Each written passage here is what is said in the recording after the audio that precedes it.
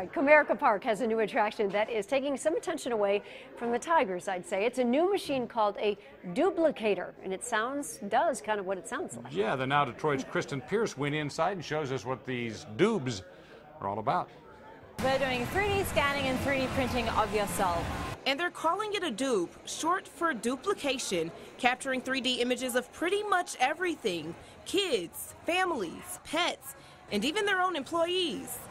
The core reason, it always comes down to capturing a moment with a loved one. We get a lot of wedding cake toppers, we get people coming in with their kids, getting the kid scan to give to the grandparents. There are 54 cameras inside this duplicator, and they all snap at the same time to capture a 3D image of your entire body.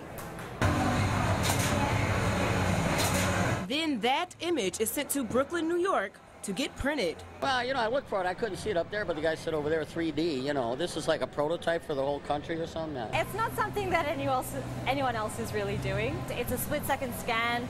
Um, so it's something that usually people have never seen before. And so far, Comerica Park is the only place you can get duped in the entire state.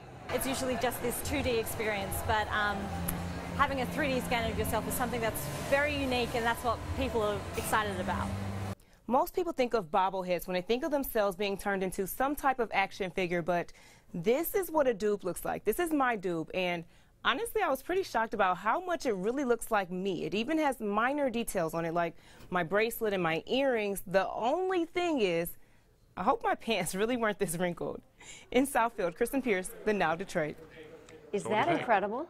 I mean, this is, uh, we're, we're all around here just stunned at how much that actually looks like. Looks like Kristen. Exactly. It's even it looks like a little seven. You can see the ABC on. Right. And Detroit on the shirt. Look at that. That is amazing. What a cool thing. Look at where technology and all that has taken us, right? Imagine like graduation pictures with your kids. Right. Or, or like your, your team photo, the hockey, you know, baseball, football, tennis, whatever. That just means they're going to charge all of us more to play those sports. So Exactly. we'll just take the flat one for now.